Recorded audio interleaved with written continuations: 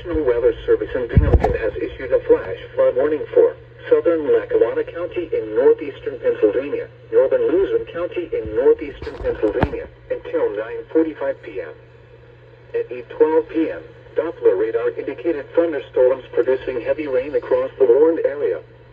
Between 1 and 2 inches of rain have fallen. Additional rainfall amounts of 0.5 to 1 inch are possible in the warned area. Flash flooding is ongoing or expected to begin shortly. Hazard, flash flooding caused by thunderstorms. Source, radar. Impact, flash flooding of small creeks and streams, urban areas, highways, streets, and underpasses as well as other poor drainage and low-lying areas. Some locations that will experience flash flooding include Scranton, Wilkes-Barre,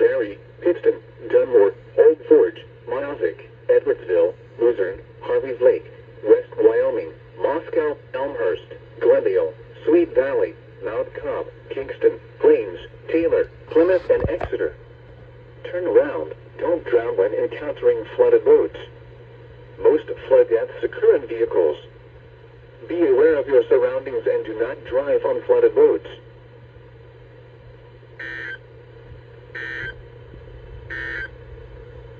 The National